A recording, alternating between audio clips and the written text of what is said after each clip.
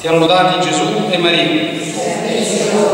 Fratelli e sorelle carissimi, oggi celebriamo la festa liturgica di San Francesco d'Assisi, innanzitutto, che è il patrono della nostra cara Italia e qui da noi è anche il primo giorno del trino in preparazione alla festa della Madonna delle Vittorie, quindi brevemente faremo una riflessione in primis su questo grandissimo santo che qualcuno addirittura ha definito il primo dopo l'unico, quindi l'ha messo in diretta correlazione con il nostro Signore Gesù Cristo tra i santi della terra e poi cominceremo a vedere la grandezza della Madonna delle vittorie. Oggi con la riforma del calendario liturgico non si chiama più festa della Madonna delle vittorie, si, si chiama festa della Madonna del Rosario, ma tanto l'arma con cui si vincono tutte le battaglie nel nome di Maria, come vedremo, il Rosario, quindi non è che sono interscambiabili nomi. San Francesco, San Francesco sappiamo tutti che nacque verso la fine del, XII secolo, nel 1182 ad Assisi, ebbe la classica giovinezza spensierata, era un borghesello, benestante di famiglia. Io, pur con le dovute distanze, penso che l'adolescenza e la giovinezza di San Francesco siano state abbastanza simili a quella del sottoscritto, insomma, quindi non era un grandissimo peccatore, come descrivono San Francesco, che sembra che abbia fatto chissà che cosa. Era un adolescente spensierato, quindi con i, con, con i, peccati che può fare un adolescente spensierato, insomma, quindi insomma, nulla di super trascendentale da, da codice penale o cose di questo genere, però insomma, una famiglia molto molto ambiente, molto benestante, il padre faceva parte della borghesia d'Assisi, era un commerciante di stoffe, gli piaceva sicuramente fare qualche festicciolo con amici, come racconta, dei soldi, un po', di soldi in tasca, divertirsi un po', gli piaceva, lui sognava di diventare un cavaliere, un combattente, stette anche se armolò, stette prigioniero per un certo periodo di tempo, insomma, una vita così. Poi ebbe questa grande conversione che è sempre importante ricordare, che passò per due o tre passaggi fondamentali, è molto importante ricordarlo. Il primo è il famoso leproso, è il primo anno che festeggio San Francesco con voi, quindi non so quanto sapete di questa storia, quindi ve la comincio a raccontare. Ma sapete che i leprosi fanno abbastanza di pregnanza e la lepre è una malattia contagiosissima. Ecco, un giorno un leproso si presentò alla bottega del padre di San Francesco che c'era lui chiedendo l'elemosina e lui lo cacciò malamente, insomma, primo perché la lepre è contagiosa, secondo perché insomma si voleva togliere questo spettacolo davanti a tutti. Fatto questo gesto, lui si pentì dice ma guarda, guarda sto colaccio già sta ridotto ai minimi termini magari gli servono due soldi per mangiare qualcosa che io non ho mangiato questo. Si è sentito male insomma gli è venuto il rimorso e cominciò a desiderare di rincontrare infatti fatto che dopo un po' di tempo non, non ricordo se lo stesso leproso un altro leproso gli compare sempre dentro il negozio del padre e stavolta apre il cassetto delle monete prende una manata di monete e gliele mette in mano immaginate che se vede tutti questi soldi in mano, la faccia che potrebbe aver fatto, no? quindi rimase un pochino così.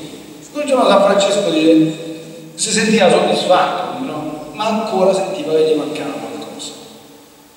Che succede? Un giorno un leproso lo incontra per strada, eh, si trovano davanti lui e San Francesco. Voi sapete che la lebbra è una malattia contagiosissima, se tu tocchi così un leproso, basta che lo tocchi e già sei contagiato. San Francesco a questo leproso lo ha abbracciato e lo ha baciato. E scrive nei suoi scritti, da quel giorno tutto ciò che per me era amaro divenne dolce e ciò che per me era dolce divenne amaro. Lui spiega che questa esperienza del leproso ha vissuto al tempo stesso due realtà in.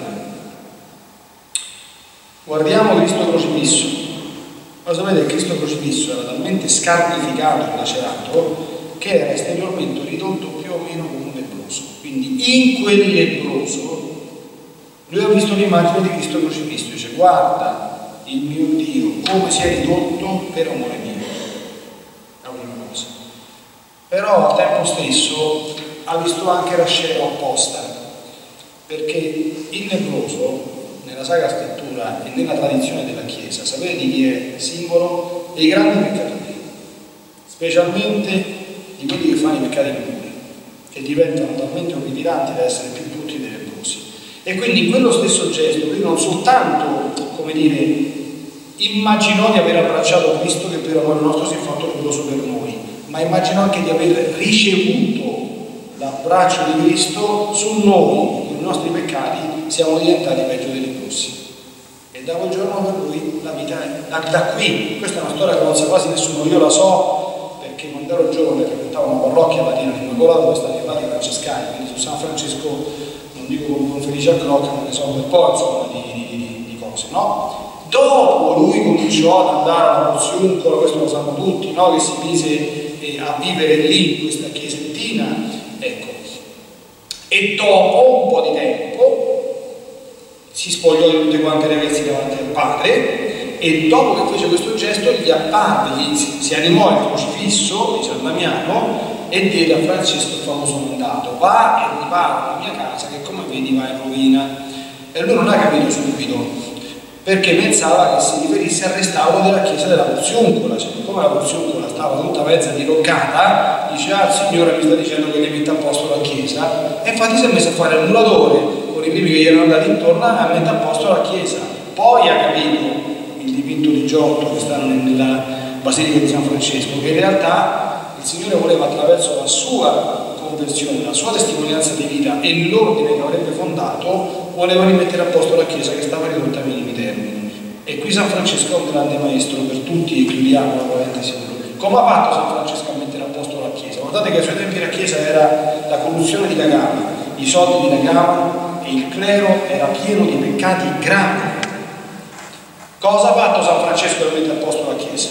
Si è messo a fare i post su Facebook a dire guarda che hanno fatto, guarda che hanno fatto in questa diocesi, guarda che ha fatto questo vescovo, guarda che ha fatto questo prete, eh? magari anche segnalando dei problemi veri? No. Si è messo a criticare il Papa? No. Si è messo a puntare il dito sui parroci che erano corrotti, una volta gli portarono un parroco che si sapeva benissimo con prove certe essere un pubblico peccatore, adesso tu che fai?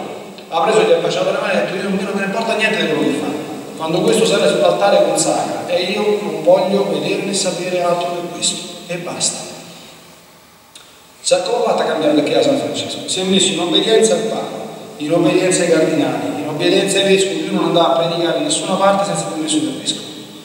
E voleva che i suoi frati stessero sottomessi a tutti, per questo che si chiamano minori, per amore di Gesù, quindi voleva essere uno stile umile, non giudicassero mai nessuno, non criticassero mai nessuno, non condannassero mai nessuno, portassero in giro l'amore e la pace, ma al tempo stesso una grande incoerenza evangelica, una grande fedeltà al Vangelo, perché la Chiesa si cambia col buon esempio.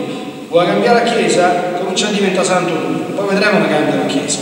E predicando, questo sì, secondo l'antichissima, semplicissima dottrina e tradizione della Chiesa. La predicazione francescana, qui abbiamo i grandi francescani, eh, un mio uomo San Lorenzo Porto Maurizio, hanno predicato qua dentro. Ecco, la predicazione francescana era molto semplice, denuncia dei peccati, guarda l'uomo è peccatore per questo, questo, questo e questo, Gesù è venuto a salvarti dai peccati, quindi riconosci i tuoi peccati, pentiti, confessati e inizia una vita nuova. Fine della predicazione di San Francesco e di Giordani. La Chiesa è rinata da Francescanesimo quindi, e per me è stato molto molto significativo, voi sapete che qui abbiamo un bellissimo dipinto di San Francesco, nella cappella che una volta era nella colonna del, Rosario, che hanno ritrovato quel dipinto.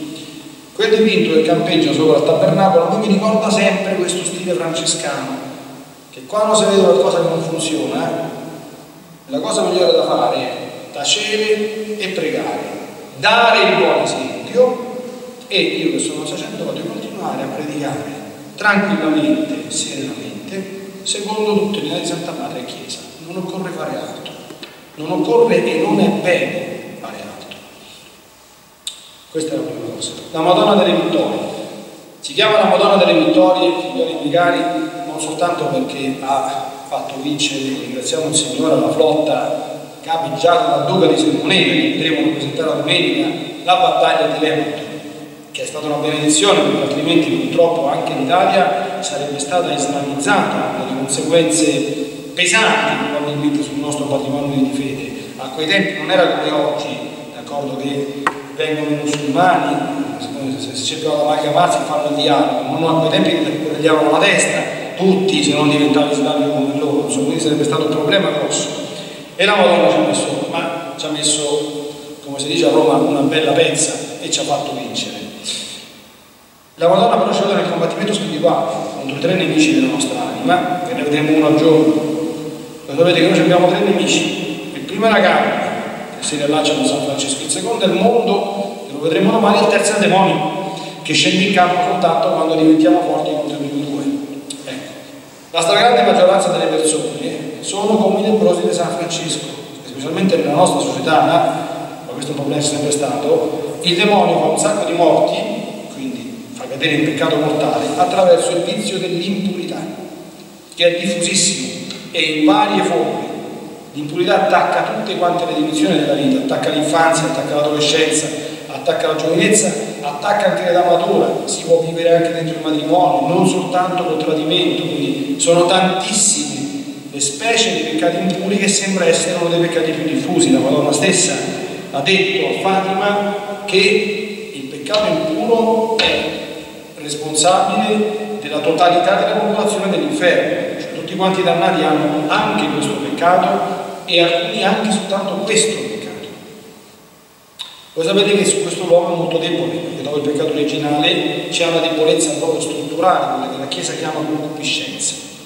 E per mantenersi puri bisogna rivolgersi alla regina delle vittorie. Sono innumerevoli gli esempi nella storia di santi e anche di persone comuni, di persone che sono state anche profondamente schiave di questo peccato che con l'ausilio della Madonna e del Rosario hanno completamente chiuso a vita con questo peccato. Le vittorie più belle che la Madonna realizza sono proprio queste qua, sono quelle contro i nemici della nostra anima. I nemici più grandi non sono quelli fatti di carne e di ossa, d'accordo? Quelle sono contingenze storiche, ma quelli della nostra anima ci abbiamo sempre e se vogliamo mantenerci sempre nella purezza e nella santità del corpo abbiamo bisogno dell'aiuto di Maria che è bene e felice di esercitare il suo impero e la sua vittoria anzitutto su questo. Lei è la vergine per antonomasia è la tutta pura e chiunque abbia bisogno di aiuto per vincere la battaglia contro la lussuria e contro tutti quanti i vizi impuri basta che invochi la Madonna e certamente nel suo nome vittoria avrà e incontrerà. Siamo lodati Gesù e Maria.